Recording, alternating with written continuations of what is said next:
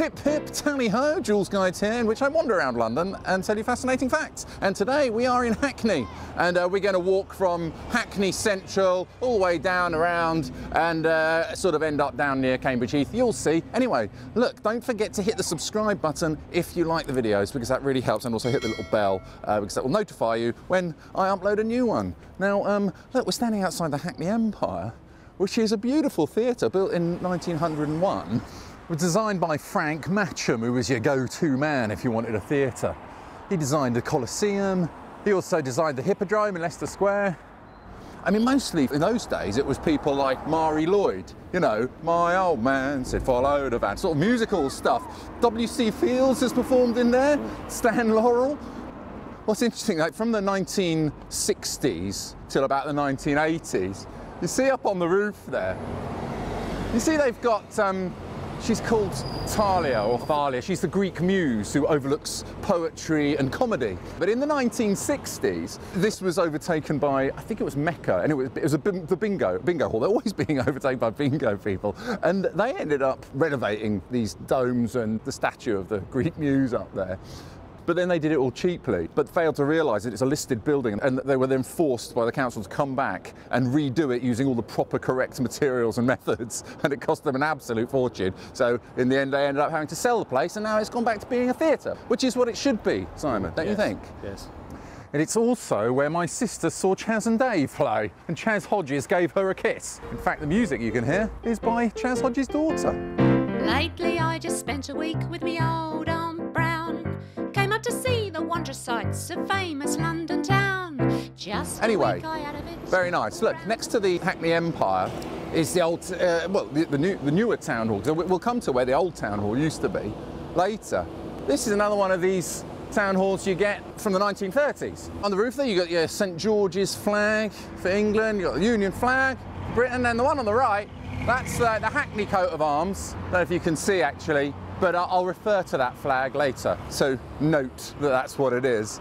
Um, you've got a museum over there in the library. Now that's a new library, but the old library from 1907 was this one here, which they turned into a cinema. Why do they have to change everything?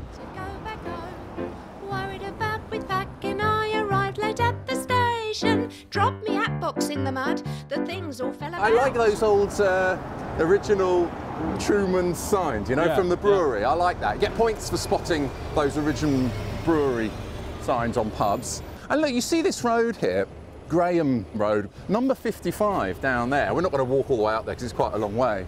But that's where Marie Lloyd used to live. Now, I'm always oh, going really? on about Marie Lloyd. I don't know if you know who she was, but she was, a, she was the queen of the music halls. My old man said follow the van. Everyone loved her, but a proper East Ender. Um, and uh, famously, she sits among the cabbages and peas.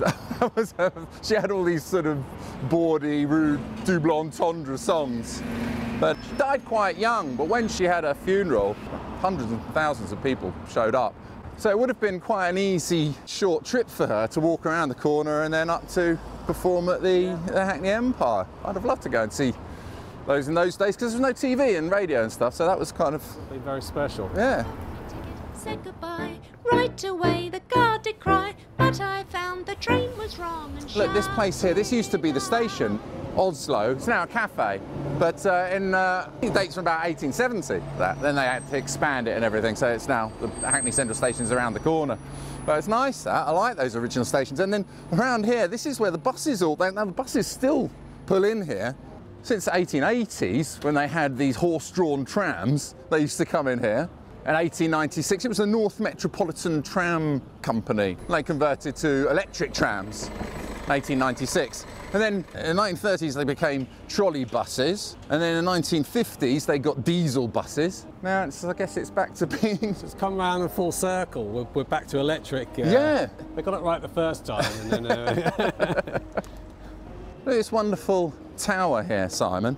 You know, this is the one that appears on the coat of arms, which I was trying to point out to you on the flag, which was fluttering above the town hall over there. Um, it was actually built in the 13th century. Well, not this one. I mean, originally there, there, was a church here which was built in the 13th century by, I think it was the Knights Templar, might have been the other knights. But anyway, it was rebuilt in the 16th century. There's a St. Augustine's sometime later, around 1798, they decided they needed more room because the congregation was growing so much here. So they had to build a bigger church, St. John at Hackney, around there, which we'll come to. Um, but the new church didn't have strong enough bell tower. So they decided to keep this one. And it wasn't until about the 1850s or so that they managed to strengthen the new tower to accommodate bells. Just in front of it, actually, you see this.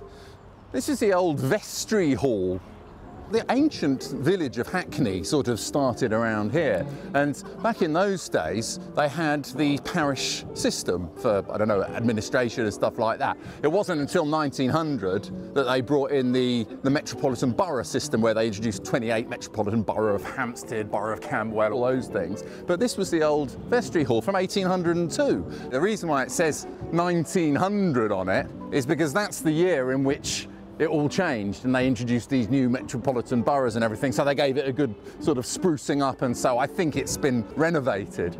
A lot of the local boroughs, they wanted snazzy, big civic buildings like the ones, well, like the one we saw over there. I think they originally intended to, to use it for that purpose. That's why I spruced it all up. Anyway, now it's one of those kind of uh, pub tap rooms. you can go in, it's closed at the moment because it's quite early in the morning. Oh, Mr. Porter, what shall I do? To go to Birmingham, but they're taking me off to Crewe. Send me back to London quickly as you can. Oh, Mr. Porter, what a silly. This was obviously a very well-to-do place to be buried. I mean, they've got all these big family tombs and family vaults, and I haven't ever seen so many of these chest-style tombs in a row. There's, there's a lot of them, and some famous people here as well. Look, Rear Admiral Sir Francis Beaufort. There he is. I mean, he's actually in there, Simon. He's there. So today is an extremely windy day, funnily enough. So on the Beaufort wind scale that he came up with, I mean, what do you think is? Um, it's not calm, zero, uh, gentle breeze, moderate breeze. I mean, at the Moderate moment, breeze today, isn't it? yeah, moderate breeze, but later on, I mean, yesterday was definitely a strong gale.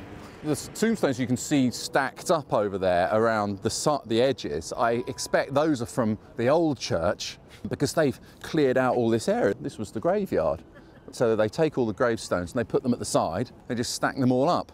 One of whom is Henry Percy, the Earl of Northumberland. He was the guy who was betrothed to uh, Anne Boleyn before Henry VIII came along. He went, step, step aside, step aside, Percy. I, I'm having her. Should have done better just to stick with old Henry Percy. Um, so he's there, he- they cleared it out. So all he's got now is a plaque inside the new church. Um, he also arrested Cardinal Wolsey. Did well just to stay alive in those days, if you ask me. Here we go. Look, so this must be one of the stones that denotes the site of the old church. This stone, something the site, something something east. I think this. I think The other this, one's over there. Yeah. Oh, this. So this is where the where the old church came to. They demolished it in 1790. We're going this way anyway.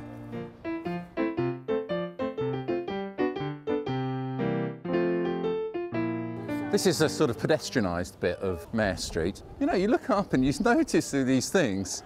So you can see how that used to be a manor house. You see here, this dates from 1845. Daniel Tyson. He was like a manorial steward, whatever that is. Basically, they, there was a nice old pub on this location called the New Mermaid, and they knocked it down so that he could have a manor house here, which if you stand back, you can actually see what it kind of originally looked like. Yeah, it would have been quite grand, I suppose. Hmm. I wonder if they would have had something on this side as well. I doubt it. I reckon that probably would have stood alone, wouldn't it, back then?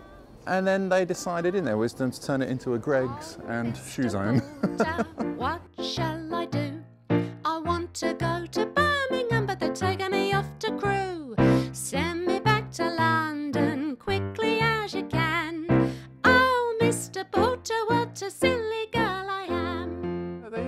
They do concerts and stuff in there. And Hackney's so trendy these days. the Coldplay have played in there, and Robbie Williams. I wonder if he played Angels, that probably would have gone down well. and through it all, Shrewsbury of London, merchant. See, Hackney was quite uh, popular with merchants, bankers. It was, it was the new kind of commuter town, I suppose, around this sort of time, like early 19th century. They'd they built up this area for people because it was quite easy to get into into the city from here. Yeah. So this was actually quite a well-to-do. It's on the main drag, area. isn't it? The, the, the Road. What else? This you see? know, deputy, I mean, the general of the East India Company. This guy. Look at that. So you get some real. I mean, that was a that was a decent job in those days. Died 1831.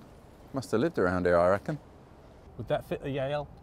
yeah, key, security key. Ske- no, probably need a skeleton key for that one. yeah. Did you get it? No. Hackney has more than its fair share of these phone boxes. Look, this is, these are the original K2 ones, the nice ones. And they only had about 1,500 of these made. And then they became too expensive. And so they started making the other ones, which have a little window there, like they're smaller, slightly smaller. The K3, I think.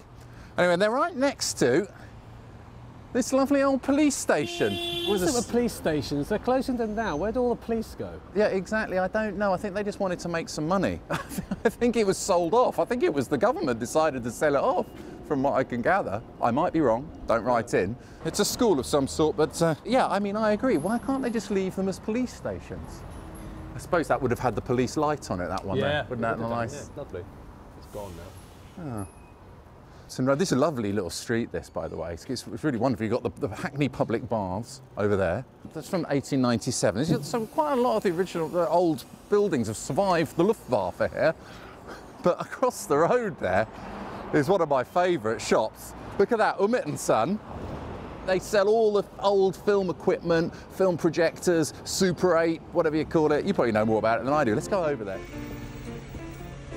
16 mil because I just love the look of 16. Oh, okay. 16 has got a, such a beautiful look. I just love it to bits. But you know, this is this is my favorite. This one here. This is the this is the jewel in the crown. Hey, look at that, huh? Yes, uh, it's a it's a Gaumont. It's it's at least hundred years old, so it would have been nitrate in those days. So you'd load your film, thousand feet maximum, which gives you about eight minutes, nine minutes running time. Well, that would have been an epic in those days.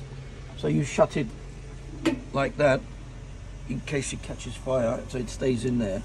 Um, the shutter is on the outside. All right. Yeah, yeah. Don't get your fingers in there. It's fully functioning. Oh, that sound. Yeah, yeah. I mean, what, what, what, what, what, what are you gonna have today that's gonna last hundred months, let alone hundred years? You know. Look here to the cinema, so you can book this place out. I'm gonna just Oh, it is lovely, isn't it? look at that. You see, and you can get like I Yeah, don't know, it's lovely. 16 or so people in here. Let me let me try this. That that is come. How about that? It's for private bookings. This is amazing. Yeah, yeah. So this is the projector you use. That's one of them. That's the Super 16. That's brilliant. Yeah, but we can run any film in here. Can people bring in their own? People Or? bring their own films for a little special screening, or they can choose one of our films. These seats are original. These are actually 90 years old. These are uh, from the 1930s. These are actually 100 years old.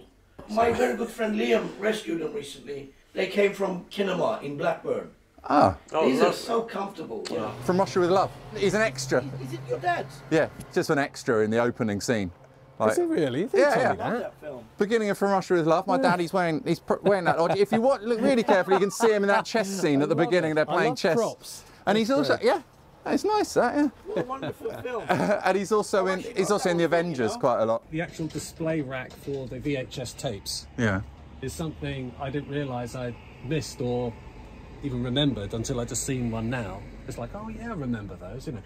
I sold a copy of Back to the Future. One got auctioned in LA, seventy-five thousand dollars. Yes, yes. Seventy-five thousand They dollars even for a grade them. VHS. They grade them. They put them in a, a, That's a right. perspex box and say this is a yeah, you they know, grade them. represents the They, print the, of the the time. company Nerds. authenticates them. Yeah. To make sure I knew they're I knew as proper. soon as I brought Simon in here, they'd have a nerdy Double conversation. All right. Yeah, even- The porter wouldn't stop the train, but I laughed and said you must. Keep your ear on Marianne and mind that You you, see don't this bust. square, Clapton Square, it's laid out in 1816. There's some of these beautiful houses around here. I mean, I was saying earlier about how all these typical people who'd be living here are like senior merchants, officers, financial brokers. When I was a kid, the word Clapton used to fill me with dread because there was an area along there that they used to call the Murder Mile. Oh, Do you know?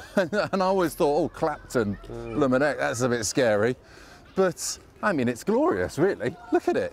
Tremendous lovely, isn't it? place. Quite a lot of famous people have come from Hackney, actually. Idris Elba is from Hackney. Uh, Alan Sugar. Let me just get over here. Um, who else? I've got Ray Winstone from Hackney, and tell you who else lived here famously, Joseph Priestley. Joseph Priestley, look, he lived above Domino's. anyway, he was the one who invented carbonated water. Oh, really? yeah, I think so. I think so. He said, on the whole, I spent my life more happily at Hackney than I had ever done before.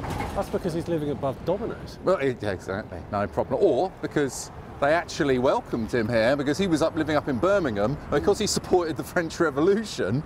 an angry mob hounded him out. And then he was invited to be a minister at the old gravel pit chapel, which we'll come to later. It was popular with Hackney dissenters.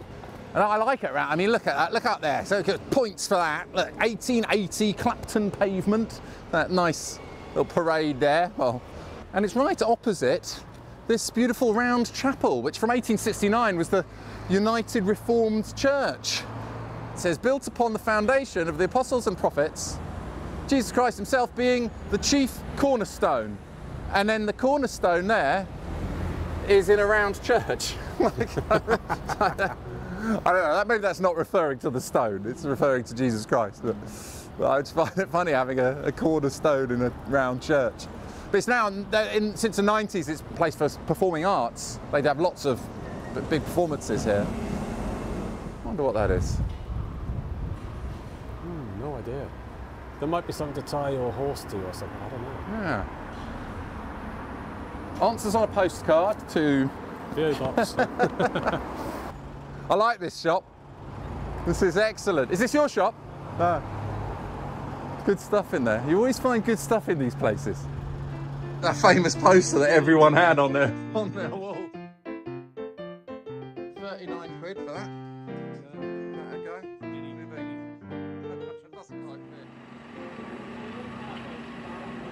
So we're now here on the other end of that little cut through.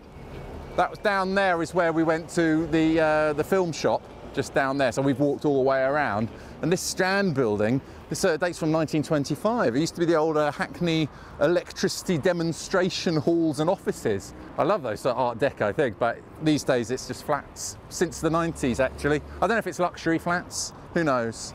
But I do like the details. Know it's down there as well. Some old gentleman inside declared that it was odd. Said, Look out of the window, miss, and try and call the guard. Didn't I do with all me might? This is a beautifully preserved street. So it's Sutton Place, it's called. And these buildings, this on this side, these are from 1795 or so. And you can see here, so you know, under the pavement here, they've got their coal hole covers here. So their coal, the coal man would de- deliver their coal down into there, and then there'd be servants living in the basement there could come uh, collect the coal and take it up to the rest of the house and put it in the fireplaces and stuff. Filmed The Hours. The Hours. Was that with Nicole Kidman? I think so. That was filmed down here. And uh, actually, I think Colin Firth lived in this street. They're terrific houses. Lovely, Um, it? I mean, named after Sir Thomas Sutton. Sir Thomas Sutton, he was the one, I don't know if you saw my uh, Charterhouse video, but he's the one who founded the Charterhouse, the school and the charity for poor boys back in Tudor times. He used to live in this area, but I don't know, then they flattened his house and they built these houses along here. But around the corner, I mean, he got his he got his land here after the dissolution of the monasteries. So Henry VIII came along, smashed down all the monasteries and nicked everybody's land, and that's how Sir Thomas Sutton, who was an arms dealer and the richest man in England, managed to end up with that stuff there. But look, over here is Sutton House, which is the oldest in Hackney. Come over here, look, it was built in 1535, this house, for a guy called Ralph Sadleir. Sadleir. Anyway, he was a courtier who worked for Thomas Cromwell, and he's had lots of uses in the past. It's, uh, it's been a school, it's uh, belonged to merchants, all sorts of people down the ages. But in the 1980s, it had squatters in here. It's amazing to think a house like that was squatted. But anyway, they've beautifully preserved it. It's closed at the moment, so I'll have to go through the keyhole another time with Julesy. Oh, so must be the kitchen. Servants' quarters, uh, meals are all prepared. And this, this must be that thing that they use. It's like a, a bed warmer. They warm up the hot coals in there and then they put them into your bed upstairs. Now upstairs to the family's quarters upstairs. Someone's having something nice for dinner there. Feels like they've only just left. Goodness me. Well, they've done a fabulous job, I must say. It's really, uh, really feels very Tudor in here. Do you ever watch Homes Under the Hammer? Stairs going up to the bedrooms? Yeah, Dion Dublin. There's a stairs going up to the bedrooms. it's amazing. This is like, wow. This is from when they when it was a squat. They've decided to uh, recreate the time, the period when this place was a squat. Can't really blame them.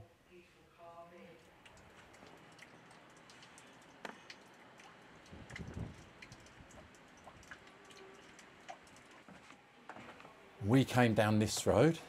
That's Sutton, that's Sutton House here. Sutton Place hasn't been built yet. So we've got Sutton Place over there with all the nice houses, and we've got over here is where carriages and stuff would have waited, like for, for the big, you know, wealthy families there, and they'd have their carriages and horses out in the back here. And along at the back of the gardens over there, they had the night soil path. It's like the night soil path was where the night soil man who had the most disgusting job in the world would have to come along and remove all your effluents and all your poos and stuff from your cesspit out the back because they didn't have flushing toilets or whatever. So he'd come along there, and there's the river, the Hackney Brook, coming down the back of, uh, of Sutton House there. Actually, the river, the Hackney Brook, ran along the back there and then down further over, but that didn't get turned into the sewer until later on. So they still, at this stage, didn't have a sewer. Um, and so they had to send the night soil man to come and get your poos. Um, I don't know what his wife said when he got home. I mean, imagine if that was your job. And people do it all the time now with their dogs, don't they? I suppose. Doesn't bother them. What, what's the difference with humans, Simon? What's the difference? There's a lot of difference. There's a lot of difference. Me old friend grasped me leg and pulled me back again. Nearly fainting with the fright, I sank into his arms aside. This is the Burberry outlet store, so if you want some discounted Burberry clothing, you come here. Thomas Burberry was from Basingstoke. He started up the Burberry company. I think he was really young at the time. I think he was like 21 or something. Later on, they invented this waterproof material called gabardine or something, which was, which was used for the uh, trench coats in the First World War. And even Shackleton wore Burberrys on several of his expeditions to the South Pole. I mean, even the Queen and King Charles, they have royal warrants from Burberry.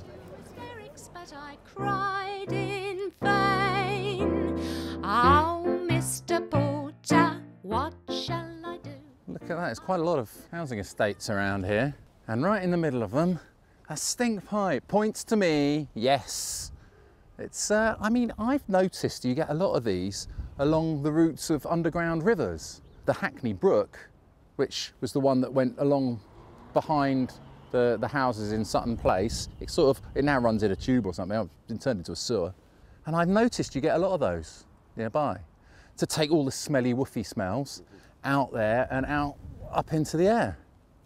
Anyway, points for that. Look up there, you see that church? You see at the top, there's a cock on Yes. top of the Yes. church. Yeah, that's what he means in King Lear when he's saying, drench the steeples, drown the cocks. Blow winds and crack your cheeks, rage, blow ye cataracts and hurricanes. He's talking about drench the steeples, drown the cocks. He's saying, drown out those weather vanes, which all tend to look like cocks in those, in those days because cockerels, sorry, I don't, I'm not trying to be rude, because it represents St. Peter denying Jesus three times Three before the times. cock crowed mm. twice. That's why you, you have those cocks quite often on top of churches, in case you were wondering, that's all.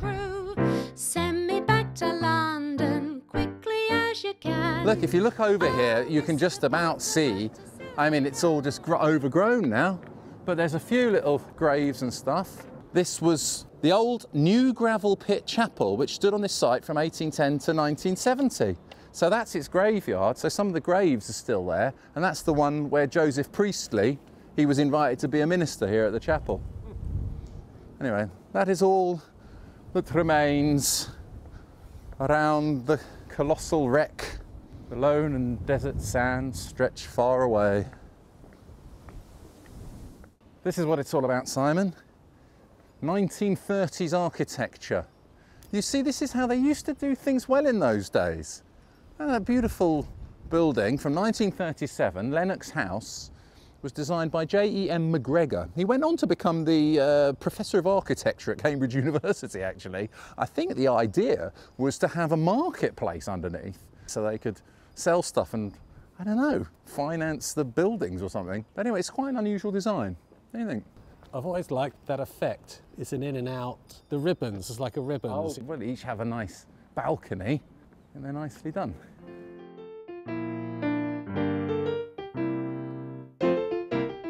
Got a lot of charity shops, some second-hand furniture shops, and other really nice, swanky, new looking places as well. It's a, it's a bit of an incongruity, this, this street. It is eclectic. My favourite thing about this street is this stamp dispenser. Look at that. You don't get points for spotting this. This is on the, the George VI post box, which could do with a lick of paint. What? Oh, look, good action shot there for us. Thanks. and look at this, see? Do you remember those? I haven't seen one for ages. Ah. Out, out of use. And Oh. yeah, so you put your you put your your coin in there, 50 pence coins only, and then you pull that, You know, and your pop your stamps pop out of there. Yeah. And every child who was worth their salt would definitely put their finger in there and check to see if there's anyone who left some money. Yeah. Mm-hmm. I always used to do that. It's lovely. You don't see those anymore. Well, I used to live in one of these houses. I can't remember exactly which one, but it was. I would have This been here nice. back in 2002. Was it as nice as that back then? It was still nice back then.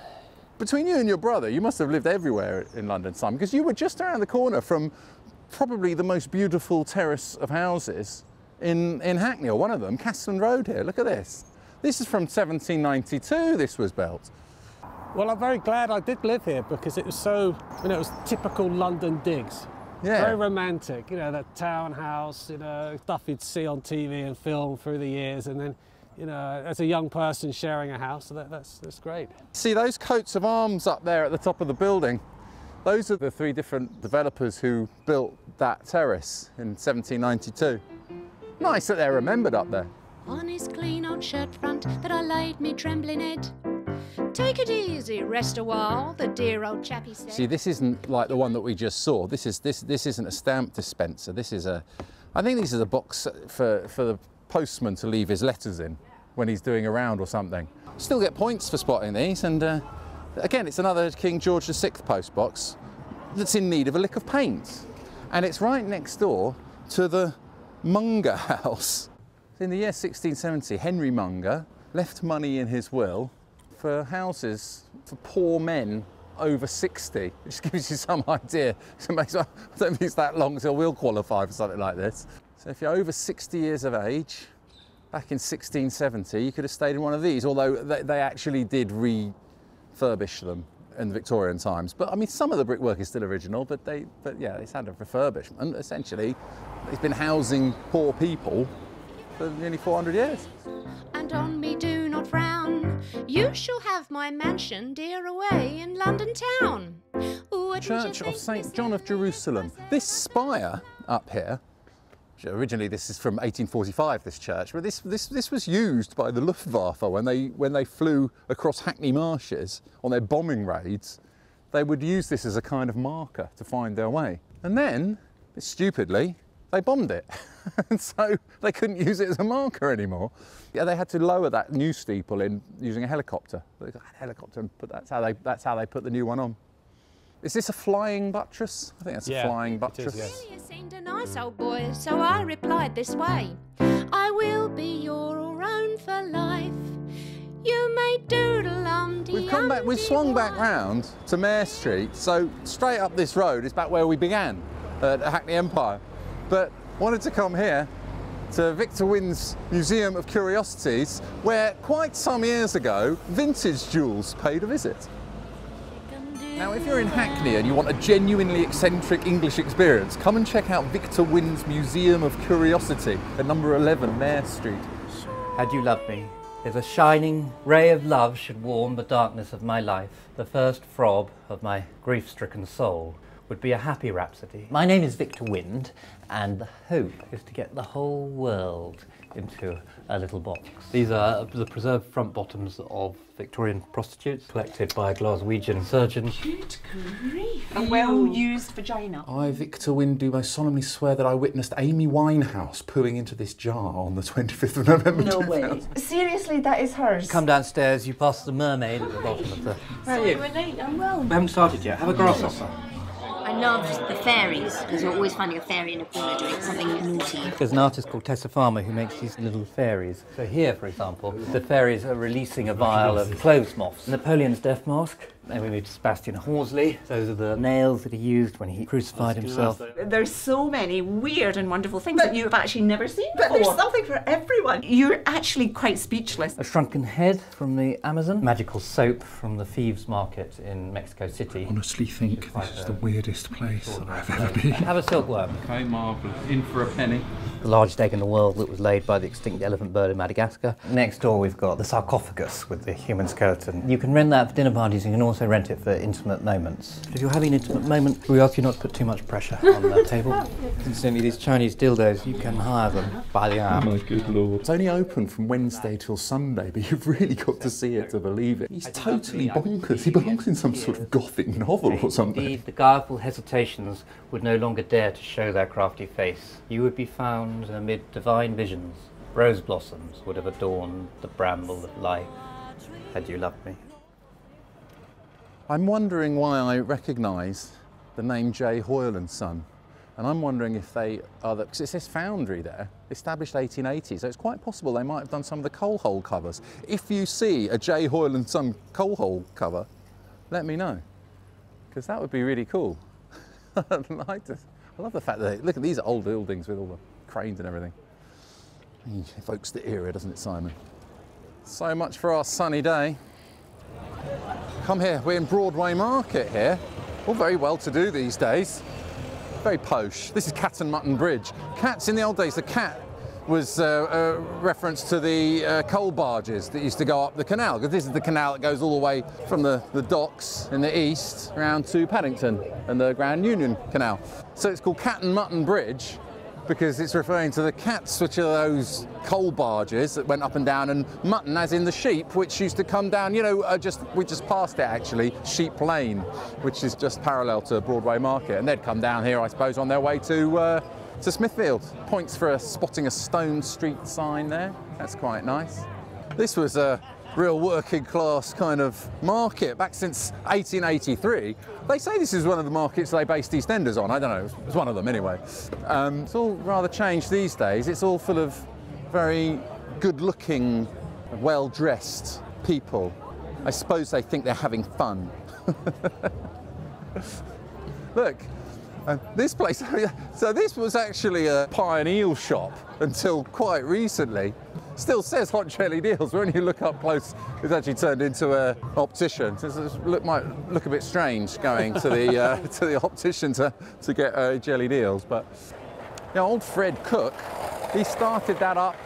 Well, it says up there 1862. But oh yeah, so, you know, he started. He moved here in 1900, and uh, he was selling all these uh, eels and stuff to the to the cattle drovers who would bring the sheep down. Bloke's grandson was still working here around 2010. I think it's time to go to the pub. Oh, Mr.